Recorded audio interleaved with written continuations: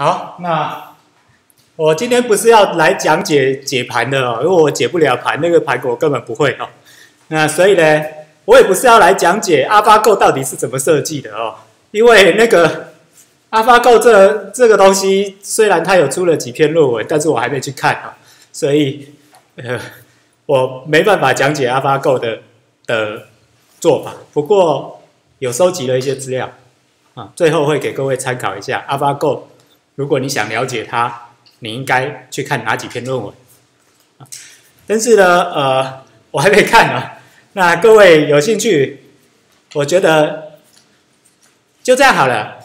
下礼拜的这堂课，电脑下棋黑客松，每个人都写一个电脑下棋程式，了解吧？分组，每一组写一个，OK 吗？啊，好，就这样决定了，好。不管你们怎么说，不要就这样决定了哈。而且我连一年级的城市设计，我都让他们弄这个黑客松啊。所以你们三四年级还学人工智慧，没道理不办这个黑客松啊！啊，办了，办定了啊。这个算成绩哦，至少占二十分啊。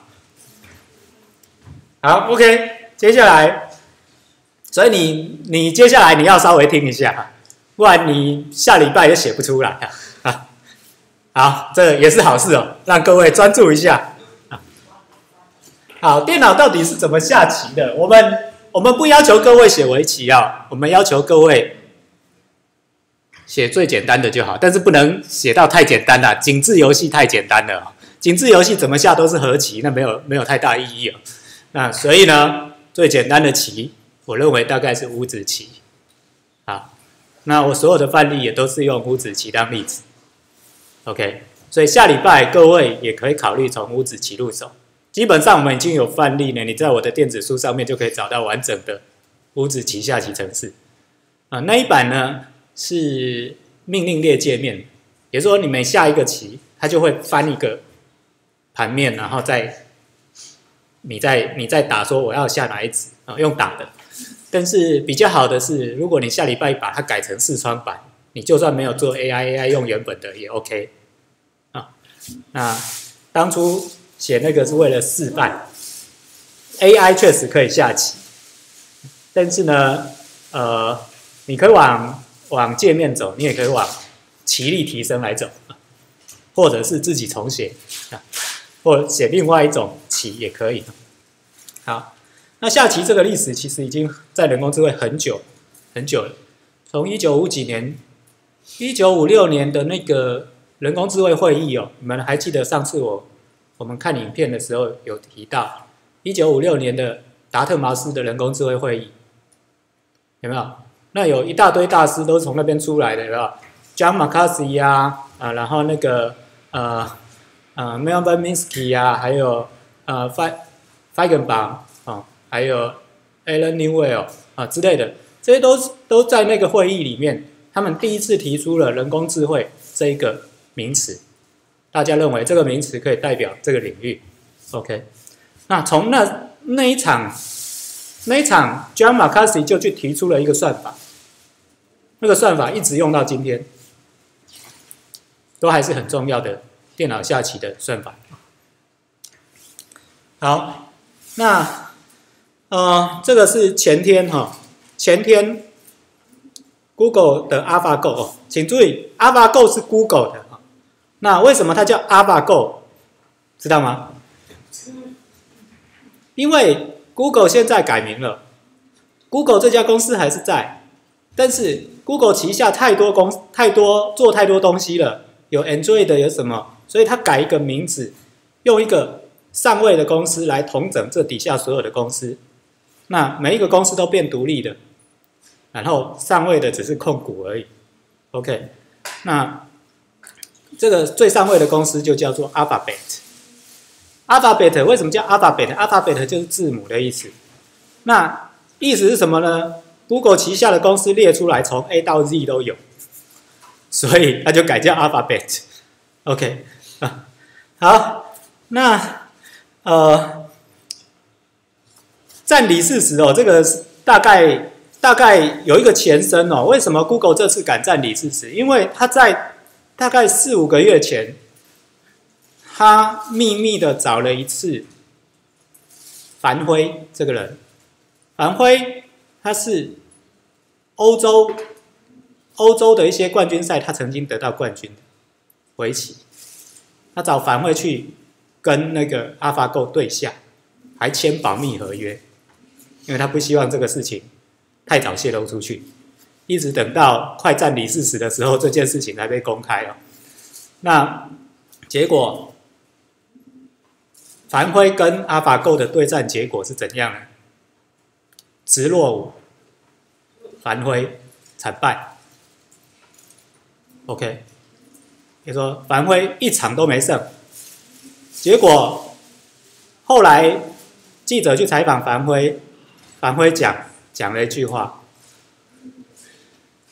那个完全不会失误的电脑太可怕了，然后樊辉真的吓坏，被 AlphaGo 吓坏。可是那时候的棋力恐怕还没到现在这么强。经过了五个月之后，AlphaGo 更强。你知道 AlphaGo 他每天都在跟自己对下。他用程式放下去，这边阿巴 Go，这边也阿巴 Go，两个阿巴 Go 互下，你知道吗？那我这一盘如果输了，我就开始改进我的棋路；这盘赢了，我就开始储存这一个这个棋谱。对，那那它有一个有一现在呃阿巴 Go 最厉害的地方，它有一个有效的方法，可以吸纳说这些对局的结果，这是。我们今天要讲的东西没办法讲到这一点，他怎么样有一个有效的方法可以吸纳这些对局结果的知识？这是我我我完全想不透，目前还想不透。好，那刚刚各位已经看到了，第一场快到尾声的时候，李李世石居然把白纸丢上来，他明明是黑纸，他把白纸丢上来，弃子投降。那结果解盘的人都还搞不清楚状况，比赛就结束了。好，那这个不是新鲜事哦。二十年前这件事情就发生了。一九九七年，IBM 的西洋棋城市深蓝 Deep Blue 就打败了世界棋王 Kasparov 啊。那那那场很受瞩目，这一场我觉得也差不多，恐怕还有过之而无不及。因为在一九九七年的时候，大家还没有办法用立即现场的影影音啊，那时候 YouTube 还没出来。大家没有办法用立即现场的影音来看这个比赛，那要靠要靠那个电视转播，所以大家是看电视的。但是现在呢，大家已经可以直接立即现场看到影音了，啊，这感觉那个那个参与度就不一样。OK，好，那围棋它是一个很奇特的棋哦，在所有棋类里面。对电脑最难的就是围棋。当然，你可以可以发明一些更奇怪的棋，或许对电脑会更难。但是在所有的主流棋类里面，对电脑最难的就是围棋。你有听过的那种常见的棋类，最难的就是围棋。那我昨天。一边写这一篇这一篇啊，那一边看李世石跟阿法狗战第二场。那昨天在盘中的时候，网友纷纷都说李世石这场会输哦，但是我不知道啊，因为我看不出来哦。那可是问题是前天的哈，这已经是前天的。前天呢，我我们看第一场的时候，盘中一大堆网友就说李世石赢定了。结果最后李世石弃子投降，网友通通落场。对，那所以昨天他们在讲的时候，我就觉得啊，这个还是听听就就好了啊。因为这种顶尖高手的对决，我们根本就看不懂我，根本就看不懂。那只有像那个刚那个柯洁那种，他就知道李世石到底到底在想什么，他也知道说阿法狗到底下的好不好，我根本看不懂啊。好。那所以怎么样子算赢，怎么样子算输，我到现在还搞不是很清楚。因为最后要算地，到底怎么算，那个东西不是搞得很清楚。但是五子棋我是绝对会，连成五五子连成一线就算赢了。这个规则超简单的，不像围棋那么复杂，最后还要算地的。好，那这样我到底要怎么告诉你怎么电脑怎么下棋哦？其实这不是问题的。我不会下围棋，但是我会下五子棋和象棋。那西洋棋我也会了哈，但是原则上你只要会下，就是电脑能够下五子棋，那再改的复杂一点，把规则加上去哦。那西洋棋和围棋大概也可以下啊。那再改的更复杂一点，那围棋它可以下，但是它的棋力会很弱。呃，你用一般的做法去做的话，它的棋力会很弱，啊，可是五子棋你用一般的做法做就会非常强大了，啊，很可能就已经可以打败人类的世界冠军了。用一般的做法，OK，那所谓的一般的做法，典型的做法是什么？就是我们今天要讲。好，那对电脑而言，棋的规则很重要吗？你想想看，对电脑而言，如果那个棋的规则很复杂，你会觉得它对电脑而言会影响很大吗？会会让电脑觉得很难吗？不会，为什么？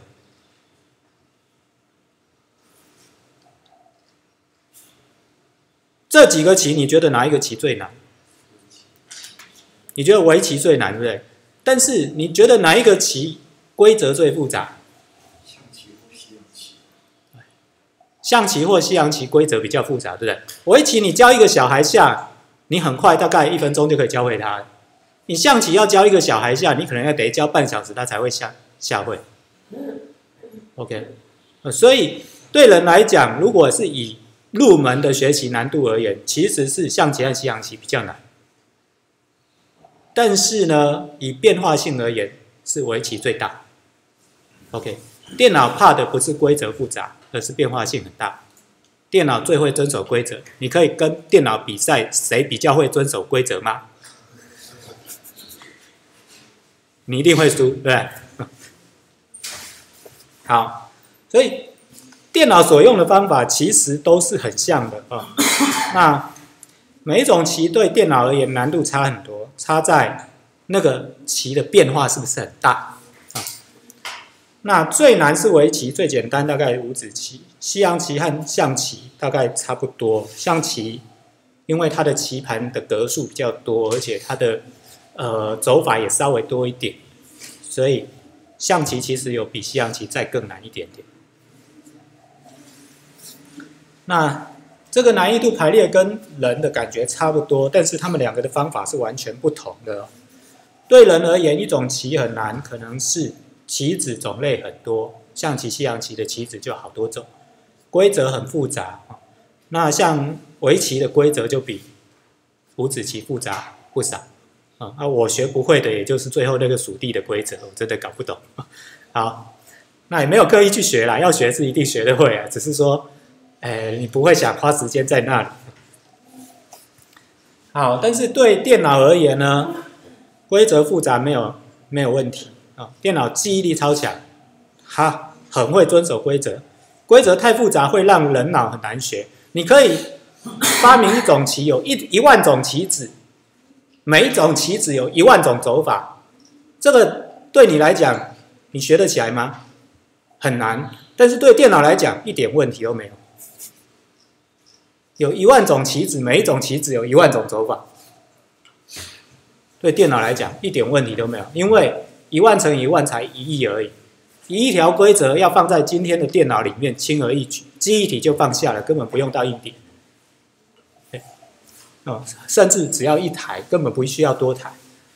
好，那所以电脑记忆力很强哦，对，太复杂只会对人脑而言产生问题。所以你会想说，我要再设计一个更难的棋去为难 AlphaGo，然后让人可以再返回一层，你千万不要往。一万种棋子，然后每一种棋子有一万种走法的这种方向去设计，嗯，你这样子只会搞死人，不会搞死电脑，嗯，啊，所以你要设计让电脑更难的话呢，那你应该是设计一种变化更多，但是呢，对人来讲是可以学得起来，那这样才有机会再让人打赢电脑。啊，那单就学习难度而言哦，其实围棋可能还比对人来讲，可能围棋还比象棋简单。好，那到底电脑是怎么下棋的？这个是棋盘，OK？那我们用五子五子棋当例子来看下棋的方法。那电脑下棋的时候有两个关键，第一个叫做盘面评估函数，OK？那第二个呢叫做对局搜寻。那盘面评估函数要怎么评估？这个影响棋力很大。但是你盘面评估评估函数一旦确定之后呢，你要怎么提升棋力，就要靠你对局搜寻能够搜寻到第几层。你搜寻的越多层，它就棋力会越强。好，那盘面评估函数到底要怎么？怎么设计哦？以五子棋为例，这个就请各位注意听了哈，因为你下礼拜写不写得出来，就看你这个盘面评估函数了不了解。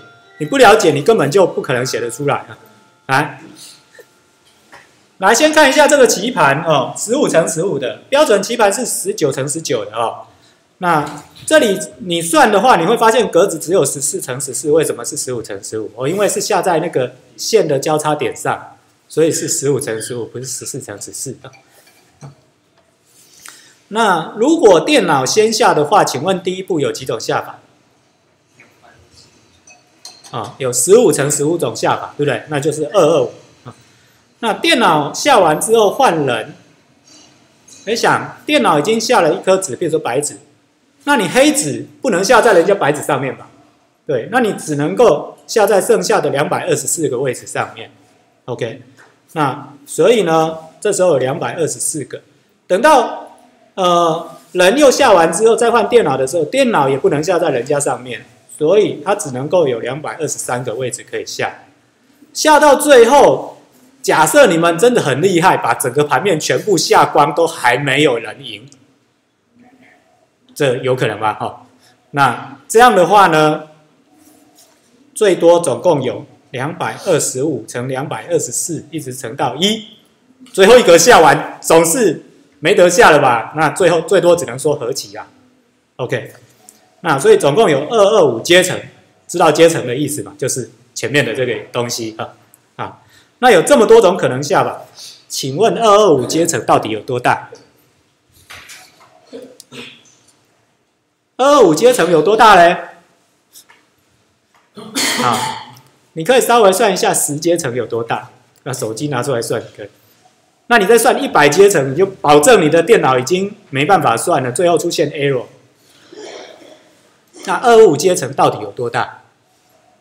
这是个很麻烦的事情。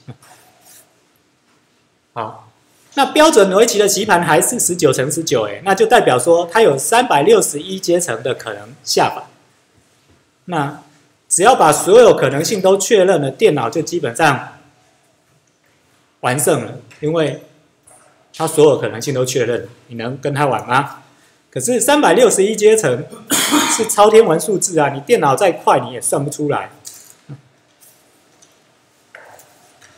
但是我们现在暂时先不管到底有几种下法，问题是你你你就算每一种下法你都知道了，你到底要下哪一步？这个问题。还没解决啊！你每一种下法都知道了，到底要下哪一步？怎么处理？好，这个就是盘面评估函数。好，五子棋呢？盘面评估函数可以很简单。围棋我真的不知道怎么评估盘面，因为最后要算地，可能要以地的大小为盘盘面评估函数。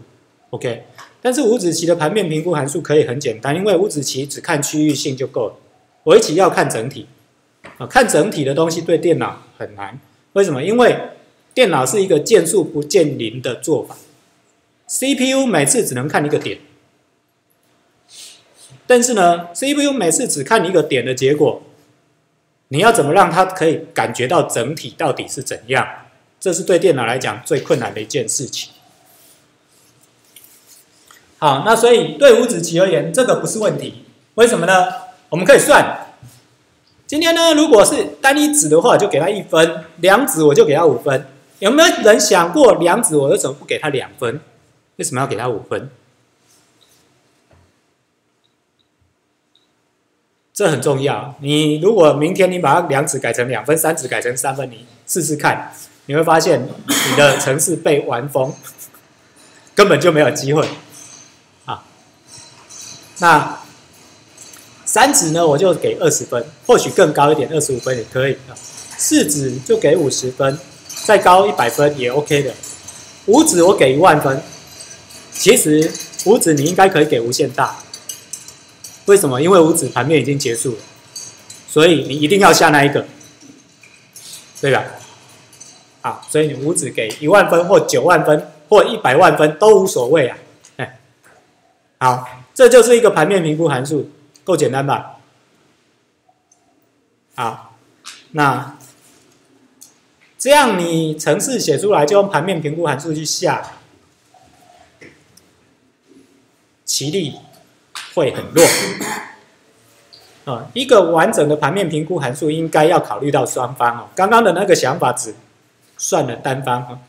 那我们可以用我方得分减对方得分作为评估函数，但是这样还是一样，它会很弱。举个例子，我们来看这里啊，这是五子棋哦，不是围棋哦，先不要搞混。五子棋。现在黑子、白子，你觉得哪一个目前比较有利？目前看不出来，对不对？因为白子两颗，黑子只有一只，那接下来应该换换黑子下，所以黑子并不会比较不利。可是问题是，如果单就这个盘面而言，谁的分数比较高？白子分数应该比较高，为什么？因为以刚刚的规则，一子一分，两子五分。白子有两子的，黑子没有，黑子只有一子的。好，那我们重复计算，什么叫重复计算呢？就是只要你有一子，我就给你一分，不管它是不是在两子的里面。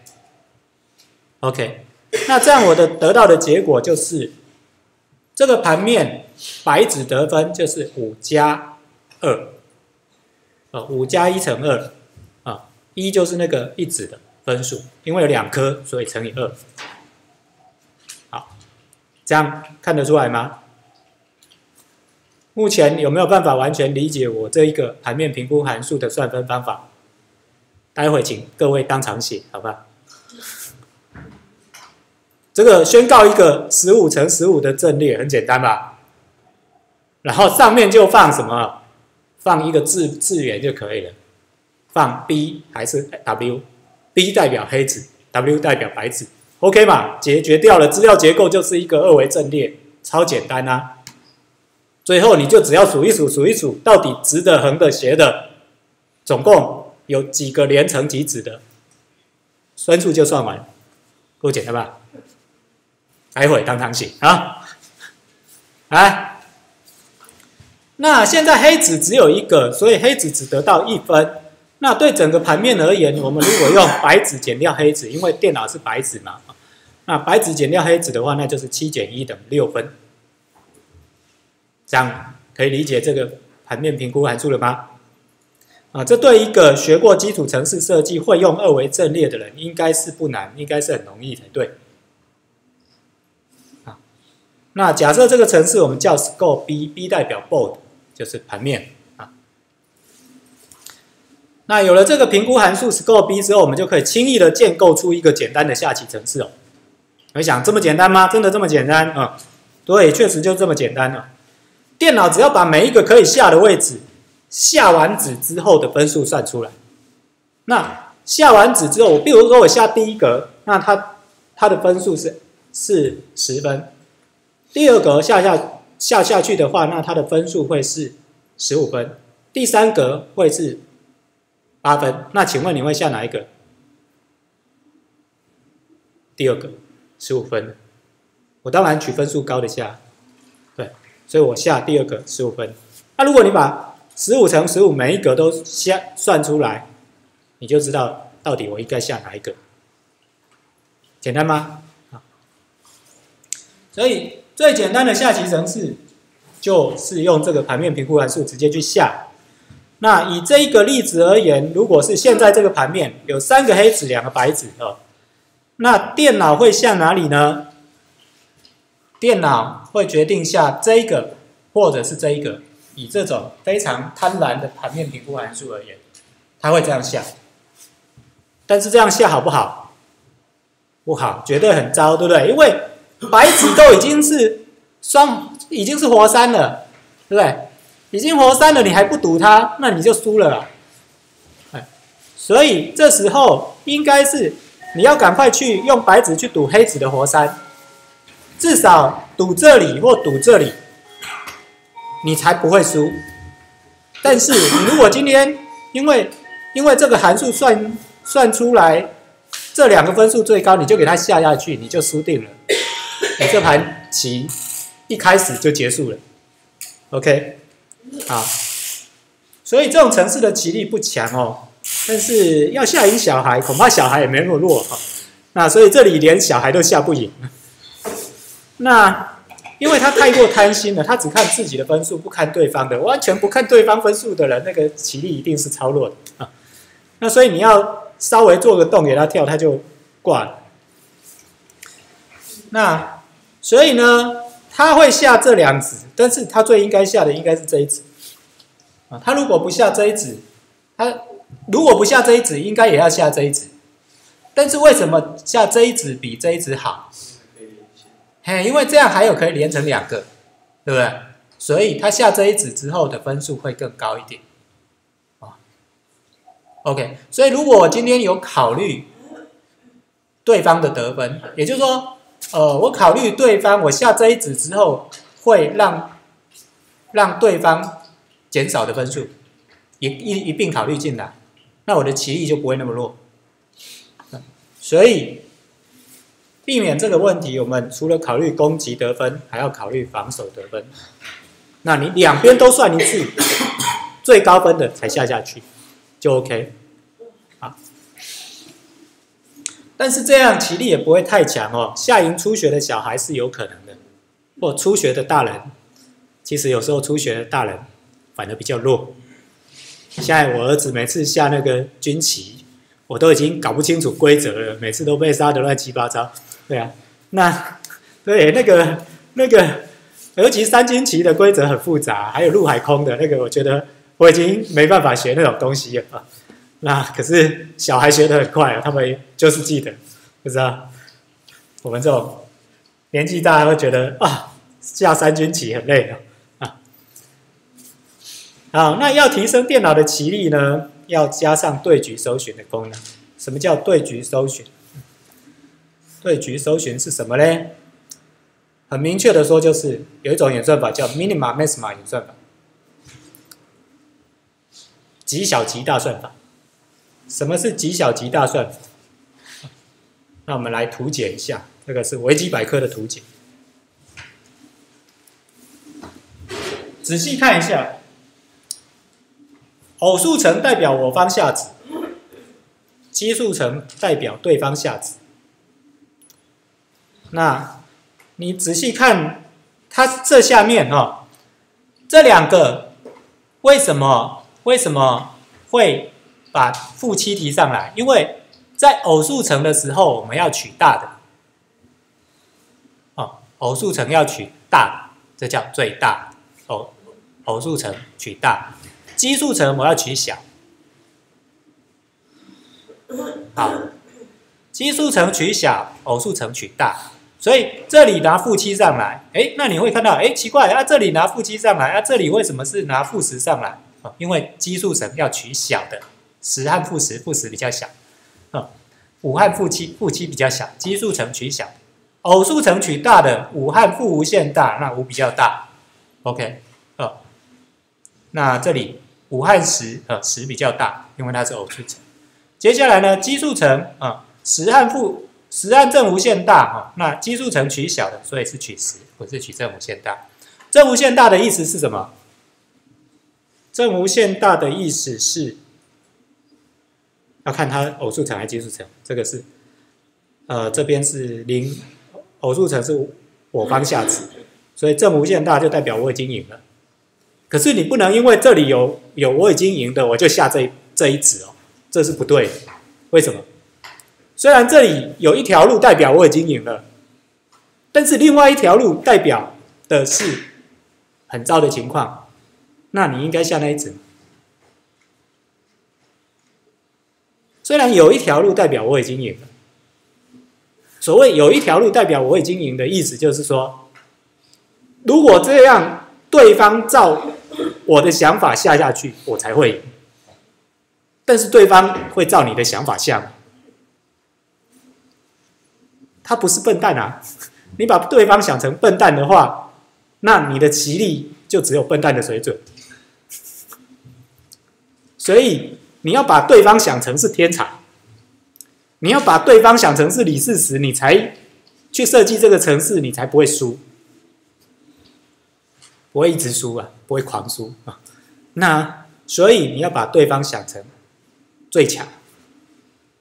那你把对方想成最强的时候，你就必须要找一个最糟情况失分最少的路，最糟情况失分最少的路。所谓最糟情况失分最少的路，就是你下面我已经都知道了，但是这个情况呢，呃，我在所有里面选择一个对我伤害比较小，所以这有一些防御型的想法在里面。那如果你永远都采取攻击型的，你就会走那个短视尽力的路，那个就一下就被高手挂掉。啊，所以那天我在跟我儿子讨论呢，讨论说，我觉得今天的那个下棋呀，那个李世石和阿巴够两个都很有王者风范。我为什么很有王王者风范？我儿子就在问，我就说，因为他们下到。最下到盘中的时候，几乎都没有吃掉对方一子。然后，问题是我去睡觉，睡起来之后呢，李世石就已经投降了，所以他们几乎都没有吃掉对方什么子就投降了。然后我儿子就说：“那都没有吃掉什么子就投降，这叫做有王者风范吗？”就跟他说：“对啊，那。”你想想看哦，如果像我们是我们自己像我们这样子，一开始就吃来吃去，吃来吃去，这个就是小流氓的下法。因为你只会看说，OK，我赶快把你把你做掉。但是如果人家高手的话，做个陷阱给你跳，你马上就被做掉了。那有王者风范的做法，就不是这样下，你不是急着去吃人家。好，但是问题是。你看哦，这个图很小，这个图很小，虽然看起来也有点大，已经塞的这个画面塞不下。可是我们不能举更大的图，为什么？因为那个图超级无限大，一直展开下去的图，应该这样子。第一层会有几个呢？以十九乘十九的棋盘就有三百六十一个，也就是说，第一层就是三百六十一个节点。那第二层是多少？三百六十一乘三百六十一个，那第三层呢？三百六十一的三次方。那你可以算一算哦。如果是三百六十一的棋盘的话，两层就有十三万种可能，三层就四千七百万，四层就一百六十亿，五层就有六兆种可能性，十层会有多少种可能性呢？三十六兆兆。你电脑有办法算三十六兆兆种可能性的路吗？就算你有，那二十层呢？二十层会变成一千兆兆兆兆，你怎么算？没办法，这绝对完全超过任何现代电脑的能力。所以电脑再快，绝对不可能超过十层。所以它必须要有一些其他的算法，才能搜寻的更深。那所以这时候就有一个称为阿尔法贝塔修剪法的方法被提出来。啊，这个方法呢，就是把已经确定不可能会改变结果的分支把它修掉。什么样子的分支是已经确定不可能会改变结果？这个就是阿尔法贝塔厉害的地方。这里是一个阿尔法贝塔修剪法的范例，在这个范例里面呢，有三个切点，红色两刀，这个就是切点，红色两刀，红色两刀，三个切点。这双红线切掉的部分就是阿尔法贝塔修剪法修掉的部分，意思就是切掉的部分你根本就不用理它，完全不用算，所以你根本不会知道它的值是八六九八六，根本就不知道，因为你根本就不需要算它了，这些通通都不用算。你这样看起来好像切掉的部分很少，但事实上真正实施的时候，你会发现绝大部分都切掉。为什么你有三百六十一种可能的下法的时候呢？你会发现，搞不好只有两种会留下，其他八三百五十九种都被切掉。只要你一开始就是先算那个最分数最好的那几个，后面就都会被切掉。OK，所以你看，我们放大一点再看，你看这里是切点，好，那为什么这一点切点可以切掉？仔细看一下，它上面都已经标好了，max min max min max 就是我方啊，啊 min 就是对方啊。OK，那现在呢，我们在这个这个对局数的底下呢，我们要把我们可以把这里完全切掉，就是说这个完全不需要算，你只要看到五出来之后呢，就发现后面通通都不用算啊，只要这个五出来，后面就通通都不用算。八，你根本不知道它到底是不是八，因为你根本不用算。为什么？仔细想想，你看哦，我现在这一层要取大，对不对？哦，如果你看不到，请走到前面来看，直接坐到前面来看啊，这里是关键啊。我这一层要取大，那三六谁大？六大。接下来五进来。五和六谁大？六大。那既然五比六小，那我已经确定这一支传回来的是五。好，这一支传回来的是五。那你这一层这边是八还是四还是七？对这一个值而言，它是取小，它是取小，它只会从五不断的往下降。对啊。它不可能再大于五了。既然它不可能再大于五，那我已经知道这一条是五了，那整个后面都不用再算。这样了解他的想法吗？所以这里一旦五出现之后，后面全部砍掉，不用再算。这就是阿尔法贝塔修剪法厉害的地方。它可以减掉多少？实物上可以减掉非常多啊！有时候可以把整棵树 几乎减光光。但是当层数一多的时候，只要你你三百六十一个分支里面，你只要每一层都留两个分支，那你能算超过三十层吗？两个分支每三十层就二的三十次方，现在电脑还可以算到这么多。当然四十层、五十层你就没办法。那留两个只留下两个分支的情况是运气非常好，通常可能会留下十个分支啊。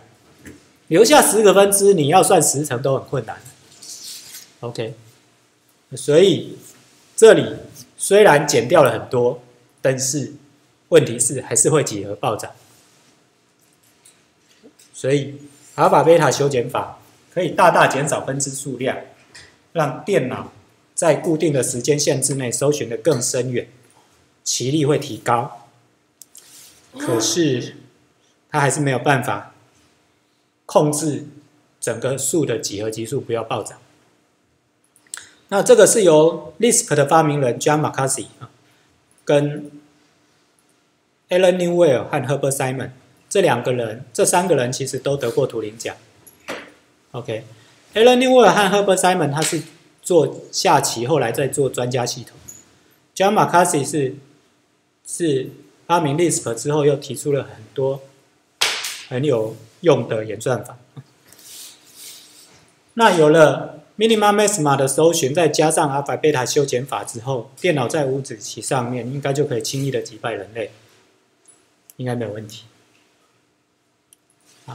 但是在西洋棋跟象棋上面就需要棋谱来训练出更好的评估函数，因为西洋棋的象棋的评估函数啊，其实你刻意去设计，要设计的很好不容易啊。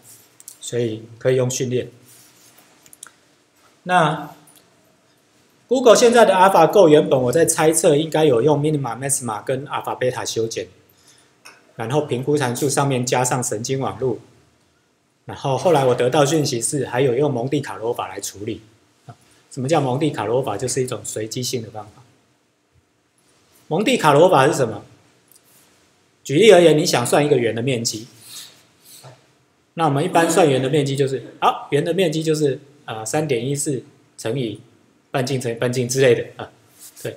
那可是呢，如果你不知道这个公式呢，你要怎么算圆面积？蒙蒂卡罗法的做法就是，我现在给把圆的面圆外面给它为一个方形，那我开始乱丢，乱丢点，我丢三百万个点、五百万个点、一千万个点上去。最后算算看，有多少个点落在圆里面，有多少个点落在圆外面。那我透过比例，我就可以算出圆的大概面积。OK，那这种做法在最近又被发扬光大。那所以这种蒙蒂卡罗法后来，呃，待会我们会看到某人的博士论文就是蒙蒂卡罗法。这个人是谁？待会你会看到。好，那所以我们对 AlphaGo 其实还不够了解，我们还没去看论文。那就有人在我这个投影片放上去之后说：“哎，这个对 AlphaGo 的描述有问题啊。”所以他就在描述人工智慧在围棋上面，所以比象棋和西洋棋。啊，差距难度差距极大的原因，并不是棋盘格子多，嗯，而是因为围棋的条件在比赛过程不明显，赢的条件在比赛过程不明显啊。那象棋和西洋棋，只要把对方的将吃掉就好。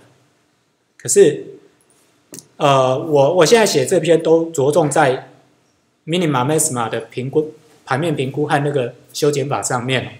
可是 AlphaGo 他说，真正的意义在于深度学习。因为只要让电脑知道游戏规则和输赢条件，然后一开始或发现有大失误的时候，给他喂棋谱进去让他训练啊，那剩下的就是电脑和电脑自己对战，由电脑自己来累积经验。那阿法 Go 到底跟谁对战？有没有想过？阿法 Go 就跟阿法 Go 对战了。自己打自己，看谁赢，从赢的地方吸取经验，从输的地方改进，这是 AlphaGo 比较厉害的地方啊。好，所以我就去问他可不可以把这一段放进，他说 OK。那后来就有人又提到，在另外一篇提到，那我又问他，他说 OK，我就贴进来。啊，Mark 劝说，传统的蒙地卡罗搜寻范围是借由模拟方式要走到最后一步。那这种搜寻的范围很大，那传统上让围棋专家写死一些规则来减少搜寻范围那这种方法有它的限制。AlphaGo 是用类神经网络来训练，这个类神经网络我们之后会提到。我上礼拜给各位去写爬山演算法，啊，类神经网络从爬山演算法再延伸下去，你就可以得到。OK，那呃。他从大量高手的棋谱当中学习规则。那类神经网络我们会举一个例子，手写辨识。那我用一个非常非常简单的例子：七段显示器到底每一个状况应该输出什么？来训练，最后他能不能得到那个状况啊，来做范例啊。但是你可以很容易的就把它改成，比如说小小型四乘四的手写辨识，或者是八乘八的手写辨识啊。好，但是那个东西有一个麻烦，你要做训练的时候，你要标准答案。这种有指导者的训练方式最麻烦的就是要标准答案。请问你能够有几个标准答案？以手写辨识而言，你就要收集一百万张标准答案给他。这个是我们当习题范例很难做的事情。OK，好，那不管怎么样，AlphaGo 其实有用神经网络，而且有用增强式学习，自己和自己下。然后不断的进化，那下棋的时候再用蒙蒂卡罗来推算下一步该怎么走，然后再把这个怎么走的结果带入神经网络去训练，所以我觉得这整个看起来它还是在训练那个盘面评估函数，只是说它最后到底有没有用 minima、maxima 和 alpha、beta、cut，目前我还不知道。啊，所以后来我上网搜寻了一下 AlphaGo 的演算法，虽然我搜寻了，但是我还没看。那呃，找到了这个 AlphaGo 的官网，然后另外有一篇是别人写的，叫 Training Deep Convolutional Neural Network to Play Go。围棋的围棋的名字就叫 Go，英文名字就叫 Go。那呃，五子棋。五子棋叫什么？好像 Go Go Como 还是什么？哎，待会再查一下。啊，就是围棋跟五子棋的前两个字是一样。啊，那另外还有一篇我找到，它是 Google 的啊，叫 Mastering the Game of Go with Deep Neural Network and Tree Search。那这篇我以为是 Google 这次这次在比赛之前哦，他有投了一篇论文。那这篇论文呢，在 Nature 这一个期刊上面被刊出来。啊，那如果各位对学术界有了解，对论文领域有了解的话，你会知道 Nature 是什么样的期刊哦。Nature 上面刊出来的论文通常都会上报纸、上新闻，因为就只有一个期刊，它是全世界最受瞩目的期刊。那 Google 那篇论文投到 Nature，啊，就是 Mastering the Game of Go with Deep Nature Neural Deep Deep Neural Network and Tree Search 啊，所以它显然有用神经网络啊，那有也有搜寻啊，也有树状搜寻啊，所以看起来它还是有，只是它的树状搜寻到底是用蒙蒂卡罗法，还是用 Minima Maxima 加上修剪，目前我不知道。但是你可以注意到，通常论文的作者不会超过三个，往往只有一个。你看这个 Google 的论文的作者有几个？你可以数一数啊，一二三四五六七八九十十一十二十三十四十五十六十七十八十九。一篇论文有十九个作者，这非常非常奇特。为什么？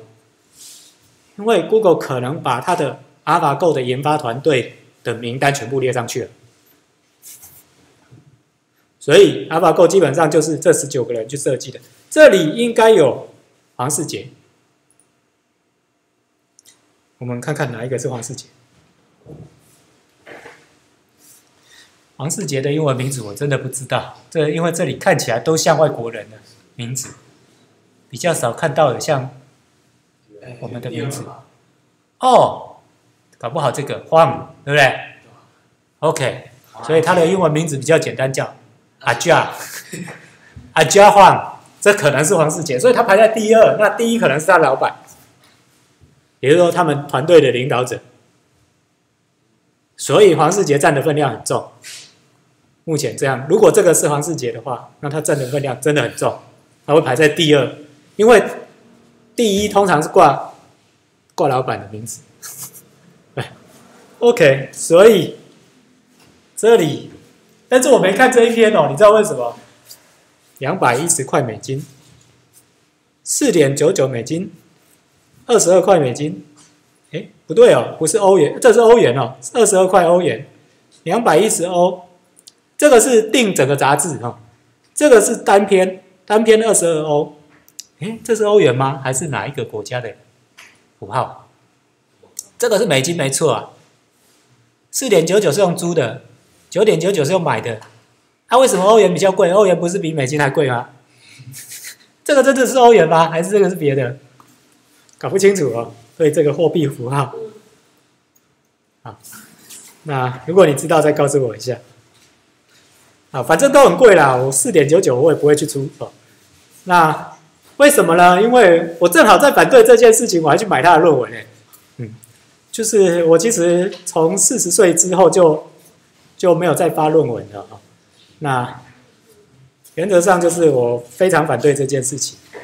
为什么反对这件事情？现在的论文都是被期刊的公司所把持的啊，你知道吗？我们写论文投到期刊，他刊登，我们要付他钱哦，而且还很贵哦。有时候一篇论文要付付好几万都有可能。那你投给他要付他钱，接接下来发生什么事呢？你想把自己的论文放在网络上面刊登，不行啊，因为你已经授权给他了，商业权是他的，所以你自己的论文自己不能刊登啊。接下来更麻烦的是，你如果要写论文，你要去看别人的论文，这些论文都是那些期刊所出的，你要怎么看得到论文呢？你要跟他买，就像刚刚那样。那一般老师不会自己去买嘛，对不对？那是怎么样？学校去订。那你知道学校订花多少钱吗？以全世界最大的期刊厂商叫做 Elsevier 而言，Elsevier 这家公司，我记得我之前曾经在图书馆开会的时候，听到他们开价一百万，是我们全校。一年的订购费，那我觉得好贵。但是上个礼拜我看到 Pen SCI 在写一篇文章啊，应该是 Pen S 还是 Pen SCI 我忘了。他在写一篇文章，我才知道清华大学就新竹那个清华大学，一年跟所定的期刊的总经费。啊，定所有期刊不止 L W 还有别的啊，总经费八千七百万一年。到后来，他们年年都提高这个期刊的价钱，每年都提高哦。从一九八零年开始，每年都提高，有时候提高百分之五，有时候提高百分之十。结果到最后，你知道，连哈佛大学都买不起。哈佛是全世界最有钱的大学，他们都拒绝订某些期刊。为什么？到最后有一些特别的期刊，因为它量很少的结果，它那个期刊一本纸本，它卖你多少钱？一万美金。有这么贵的期刊啊！天哪，那那那你把那个期刊拿来当金子卖，都还没有那个价钱。这这是一个非常荒谬的状况啊！可是我们我们的教育部一直就说，因为老师要写论文，所以一直叫教育部要给期刊，啊，教育部就花钱啊，啊，大学就拿去买期刊，啊，钱都被期刊公司赚走了。他们有做了什么事？他们只不过是把这个东西拿去刊登，把这个东西编一编拿去刊登而已。他就做这件事情，他得到那么多钱，然后导致你不付钱就没有办法看这些论文。所以我后来觉得，我干嘛要放？我干嘛要投到你那边？我只要放在网络上给大家看就好了。所以我现在都放 SlideShare，这个也是 SlideShare 的投影片 OK，那你自己可以留着，你可以放在任何网站上面。干嘛要投到那个期刊呢？好，所以我觉得那些期刊都死要钱的哦。那而且是个邪恶组织哦，他两边收钱，而且把持论文的商业权，连作者自己都不能放上网。你放上网会怎样？他会告你。那而且呢，更糟糕的是，你说我要把这篇论文拿来出论文集，期刊厂商会跟你说不行哦，你这样我会告你，你不能拿来出论文集，也不能来放在自己的作品里面哦，不行哦，我会告你哦。那怎么办？你如果要出论文集，可以，请你先付钱给他，跟他再授权回来。啊，OK，了解这个规则了吧？啊，所以之前哦，有有一届的诺贝尔奖，忘记哪个奖，可能物理学奖的得主，他拿到诺贝尔奖的第二天，他就说，他就说，我从此再也不投期刊。就是这件事。那像那个两千二零一一年哈萨克啊，这个哈萨克到底在哪里？我搞不清楚。有一个二十二岁的研究生艾尔巴金哦，他写成是把期刊内容下载下来，然后给放在网站上给人家用。这个艾尔巴金好像还活着，还没事。但是有另外一个人阿隆斯瓦兹，他在。两千零九年做了这件事情，结果他一样从哈佛大学下载一大堆期刊，放在网络上，但他是美国人，很不幸他是美国人，他有事，期刊厂商马上告他，告了之后呢，结果在二零一一年阿隆斯瓦兹自杀，这一个人是非常非常天才型的。资讯界的人物自杀，在他女朋友的房间自杀。那所以你不要去做这件事情，你不要去呃，像我们学校有时候可能有订 Elsevier，你不要去把它下载下来，然后放在网络上，你会被告。啊，幸运的话不会被告，但是如果你你不幸的话，你就被告了啊。那这件事情不要乱做。虽然我们学校可能可以存取到某些期刊，那这个文章的网址在这里。哦，这个不是 PSCI，这个是那个报道者，报道者这个网站的呃那个网页。好，那话题就扯远了，扯到期刊上面，再回到电脑下棋。这次李世石和 AlphaGo 的对局哦，AlphaGo 首战就胜。那除了他们用神经网络的评估函数应该很强以外，那蒙蒂卡罗的随机算法应该也扮演很重要的角色。但是我觉得 Google 更厉害的地方可能是，它蒙蒂卡罗的随机算法还可以回回馈给神经网络，让它的神经网络再变得更强。那所以在神经网络变得更强之后，再用蒙蒂卡罗去呼叫神经网络，再去。预测，然后再自己跟自己对下，我想可能这一点是他突然变强的最重要关键。OK，那他有没有用到传统的 minima maxima 搜寻？以我刚看刚刚那篇论文的标题而言，他有提到搜寻，所以不见得没用。好，只是他是用什么方式搜寻？是不是 minima maxima？还是他用蒙地卡罗？有可能用蒙地卡。OK，那所以这些技术并不是 Google 建出来的哦，也不是 AlphaGo 首创的，他们都是建立在人工智慧这七十年的研究基础上面所做出来的。那 Minima、Maxima、Alpha、Beta 啊，神经网络、蒙蒂卡罗，通通都是前人发明的。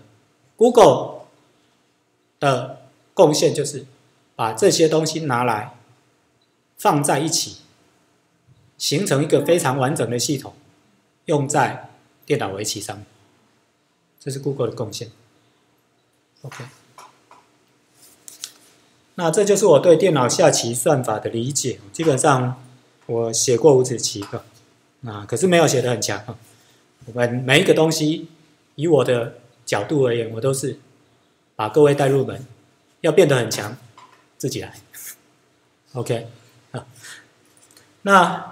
我快写完这份投影片的时候呢，阿法狗第二盘击败李世石。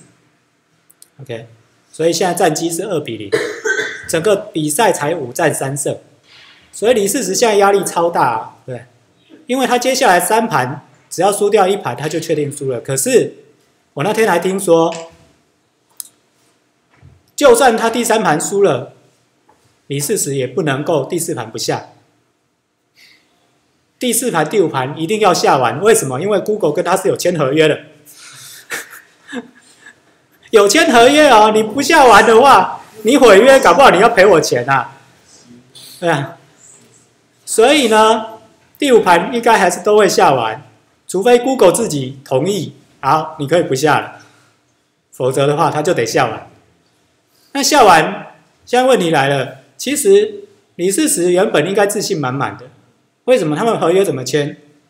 如果李世石赢了这一个，就说至少赢三盘，就是赢了这一这一次的比赛的话，他可以拿走一百万美金。如果李世石输的话，只能够拿到我忘记是十万还是多少，哎，的算是出场费了。OK，但是也很多了，对我们来讲，十万对我来讲也很多，因为十万美金都有三百万嘞。我才下了五天的，就拿到三百万，但对他们职业高手来讲，这个奖金就嫌少了一点，对不对？啊，那可能，可能那个对，但是这次的压力显然很大。目前看起来，李世石大概拿不到一百万美金了，可能可以只能拿到出场费。但是李世石是人脑九段的超一流选手，你知道？后来我才知道，我以为九段都很强，然后九段都差不多。然后围围棋问题是在就只有到九段为止，所以九段全世界有多少人呢？还蛮多的啊！啊，台湾也有一个红面棋王叫什么？周周俊周俊勋是不是？啊，那个也是九段啊。啊，那韩国李世石也是九段，刚刚讲那个中国的柯洁也是九段啊。所以九段其实蛮多的。那天看那评论哦。光是九段列出来就超过十个人啊，对啊，那这些这些都是九段，但是为什么找李世石？因为他九段里面还有分所谓的超一流，李世石就是九段超一流的选手，基本上就是全世界排名目前算是第二，跟柯洁实力不相上下，那只是柯洁比较年轻，所以他现在的气势比较旺。那所以，所以可能他的积分现在比李世石还要高，而可能之前李世石是最高。那这个互有互有消长嘛，这就像打网球，有时候这个是第一，有时候这个排名是第一，是一样。啊，所以目前世界积积分第一的是中国的柯洁，就刚刚我们有看到那个那个大陆在讲解盘面那一个人，很年轻的小伙子。那他的实力跟李世石也只是伯仲之间而已啊。所以，如果今天李世石输了，柯洁能够赢，恐怕也很难，也不容易了。那以刚刚我们看柯洁在讲盘的时候，柯洁自己也在那边移来移去，不知道到底该下哪一个哪哪一手的时候，就知道说这个电脑的棋力真的是超强无比啊。OK。那昨天我才看到李开复在分享一个文章，别人写的，说这个电脑昨天的那一盘第二盘的时候，他开局大家都以为他会输啊，因为一开始开局之后，大家看哇，李世石的形势一片大好，那客电脑为什么会这样下呢？那下的很奇怪，结果没想到电脑的布局方法跟人类完全不一样。最后在快尾声的时候，整个盘面就完全完全被电脑主宰。他想吃你什么，他就就就已经你已经没有办法动摇他了。所以这个是很恐怖的。那李世石如果后三场可以逆转的话，电脑迟早也会变成麒麟王。所以。你如果很仔细的看那个比赛，你会注意到另外一个人，对不对？那台电脑有没有手背啊？那个棋子是谁在下？是电脑在下吗？其实现在要做出手背，也不是真的做不到啊，只是 Google 这个团队没有去做手背而已啊。它再加上人工视觉，也不是做不到啊。只是 Google 这个团队没有去把它全部整合起来而已啊。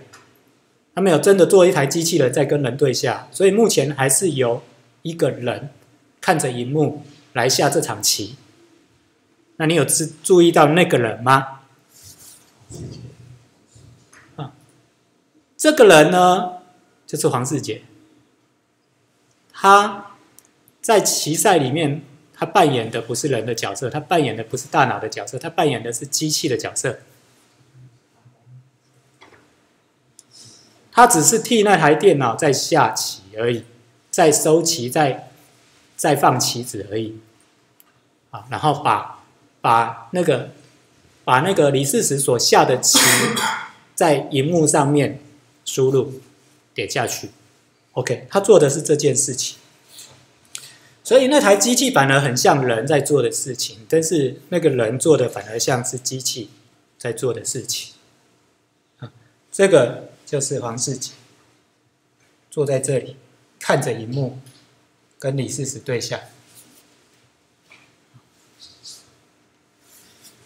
好，黄世杰，那他在这里做什么呢？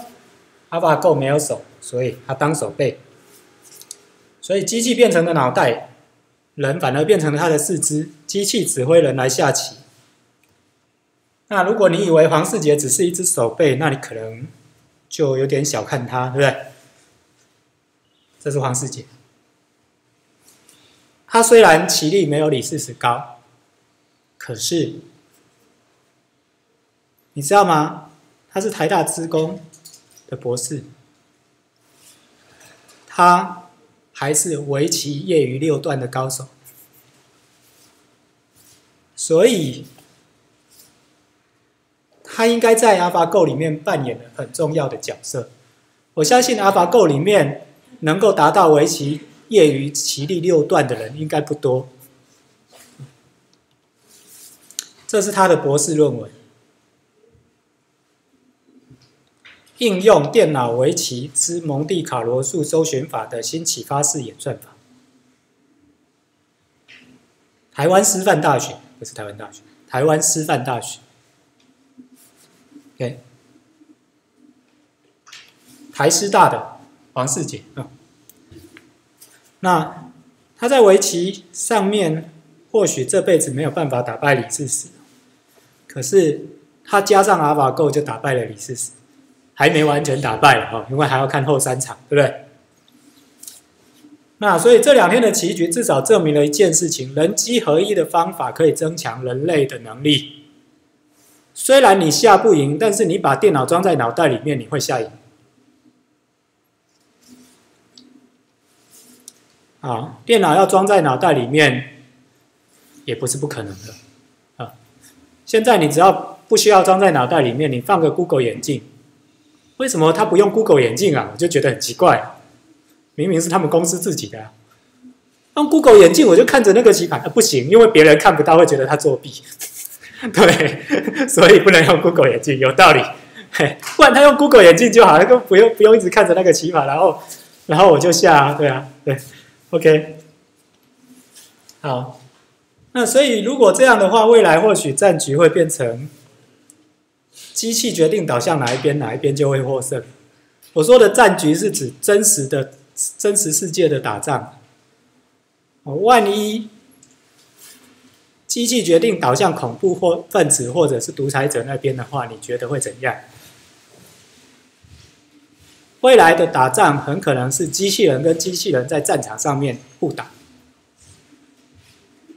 飞机是自动飞机，坦克是自动坦克，在战场上面互打，因为这样子才比较不死人。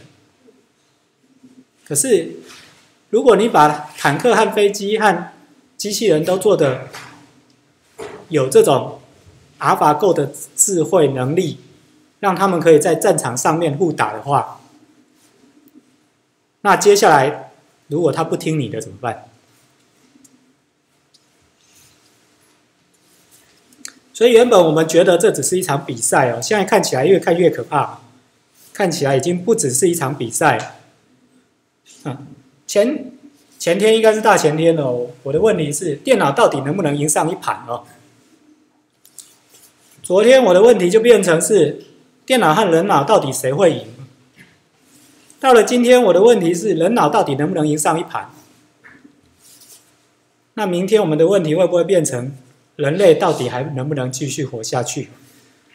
这个看起来很荒谬，可是照上礼拜我们曾经讲过的那些想法，电脑不用毁灭人类，为什么？因为人类自己就会毁灭自己啊！你不需要神一般的对手，你只要有猪一般的队友就可以了。如果恐怖分子掌握了超强人工智慧的电脑，那你你怎么办？电脑自动会提炼铀矿，做出原子弹，你怎么办？OK，好，所以有人就在网络上贴啊，李师傅不要跟他拼棋，切他电路就好了。一百年后，我们还有机会切掉他的电路吗？很多人都在觉得，那上次那个二十年前 IBM 的深蓝打赢了，结结果这二十年来它的股价有上升吗？没有啊，它其实股价还一直降低啊，是吧？那这样子，它发展这种技术真的有有有有办法打败人类，或者是有可以可以做什么吗？有很厉害吗？但是问题是，这个很短视啊。你看的是三年、五年、十年，如果看三十年、五十年、三百年、五百年，电脑会变怎样？那会是一个很可怕的事情。OK，那人工智慧的进展最近在 Google、Amazon、Tesla 和那个 IBM 的投入底下，已经变得非常有商业价值啊。我最近在看，我就越越看越觉得恐怖啊。他根本不需要到电脑可以智慧胜过人脑，可以主宰人类的世界的程度，因为他只要让你失业就可以了。当你失业的时候，人类自己就会打自己，然后最后就是世界大战就挂了。所以全世界的人都失业这件事情，我看来好像正在发生，而且。脚步越来越快。一旦全世界的人都失业，你最大的困难就是那些有赚钱的人，他为什么要把钱拿出来分给穷人，让他们可以继续活下去？如果他不拿出来分给穷人，让他们继续活下去，这些穷人会怎么样？就把他们杀了嘛？还能怎么样？抢钱啊！抢钱、抢粮、抢女人、抢什么都可以啦。那这时候这个世界会怎样？没人知道了。所以不管如何，人工智慧带来的到底是什么？这个我们上上上次也都讲过了。可是我现在越看越觉得恐怖，越觉得恐怖。所以这就是我们今天讲电脑下棋。好，结束了啊，先休息一下。好吧，又是两个小时啊！